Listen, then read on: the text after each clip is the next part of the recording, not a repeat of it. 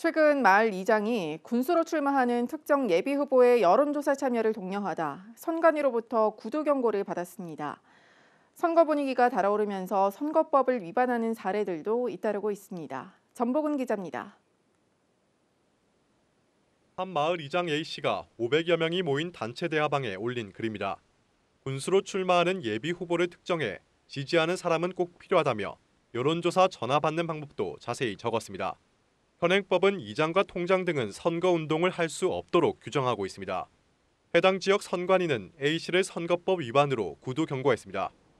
후보자 지지하는 단톡방 그 거기서 했는 거고 네. 일반 다른 선거 국민들 뭐 열 사람한테 이렇게 했다 그러면은 좀 음.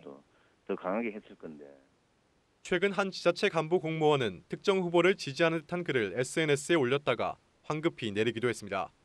공무원은 특히 공직선거법에 저촉을 많이 받는데 아무렇지 않을 것 같은 내용도 때에 따라 위반될 수 있습니다. 이처럼 지방선거가 다가올수록 선거법 위반 사례는 다양하게 늘고 있습니다. 경북선관위는 현재까지 46건의 불법 행위를 적발했습니다. 특히 요즘은 당내 경선을 앞두고 선관위에서 정당의 후보자 추천 금품 제공 행위에도 촉각을 세우고 있으며 사전 안내와 위반 행위에 대해서 어, 단속 활동을 강화하고 있습니다. 선관위는 선거가 끝난 뒤에도 주민 신고 등을 통해 부정행위 단속을 이어나갈 계획입니다. HCN 뉴스 전보근입니다.